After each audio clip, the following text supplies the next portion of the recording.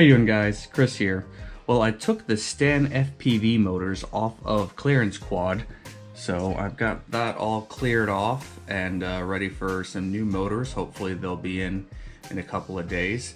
But until then, I put the Stan FPV motors, the 2604 1690 kV on my toothpick 7 inch quad here and uh, we're gonna run them on the new Gemfan 7035s and these are cinematic props. I've done a special on them before.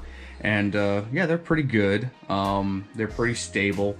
And I think with these cinematic motors it's going to be a pretty good combination for you know something like this. This is not a GoPro hauling drone or anything. Uh, but I had a couple subscribers ask me for a quick video with these Stan FPV motors with a 7 inch prop. So I wanted to put these on a 7 inch anyway, so here we are. So let's see how much this guy weighs. Basically I had to get some thinner wire because this thing came with 16 gauge wire, it's 20 centimeters long. So I put this 18 gauge wire on there and uh, that just helped a little bit, cut a couple of grams. These are 28 gram motors, so. All right, let's see how much trimming of the fat we have to do with this battery. So not too much. I think we're good. Sure, that'll be fine. All right, let's go for a quick hover and a flight.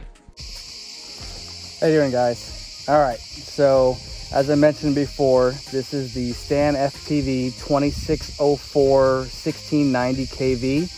These are the Gemfan 7035 cinematic uh, propellers. So I thought I'd pair them up with these cinematic motors. I'm gonna hover it right here for you so you can get an idea of just how quiet this is. Tell me if you can hear it over the sound of these crickets.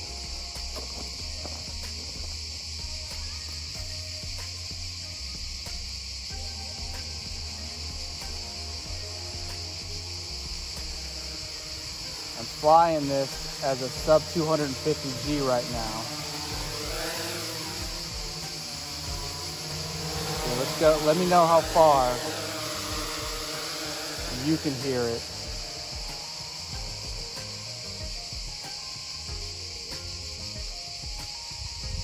Right there. That's as far as I can hear it. I can't hear it anymore. So I'm going to measure that spot out. How far did I get before you could hear it?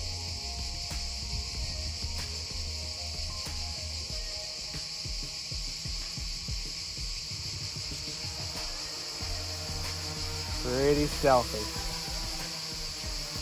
All right, let's go for a flight.